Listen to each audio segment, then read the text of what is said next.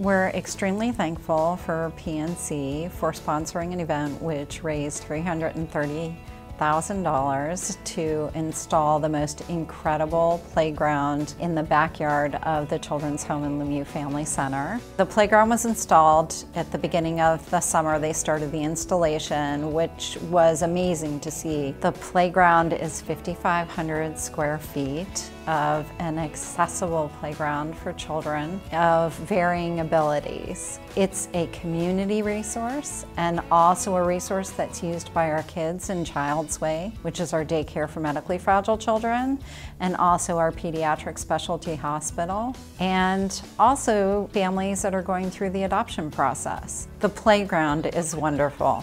It has sensory features. It has double wide bridges and spaces for children in wheelchairs and this beautiful sensory bridge that you can go underneath if you're in a wheelchair. And when the sun is shining through, there's all the stimulation with the colors and the shapes. It's really wonderful. And slides of, of varying sizes throughout. It's over the top. It's absolutely beautiful. We picked the color red for children who have cortical visual impairment. They can see better with the red color.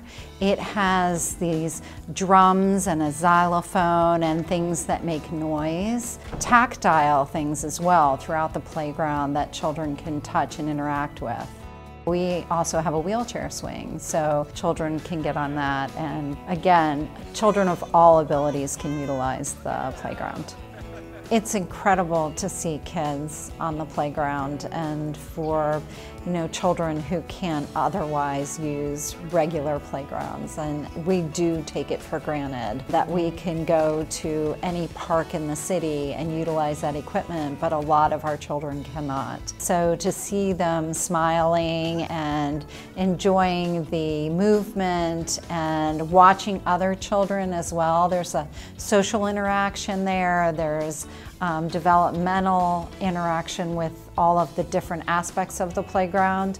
It brings um, the families great joy and it brings our staff great joy to see it that we have this opportunity for them to experience this.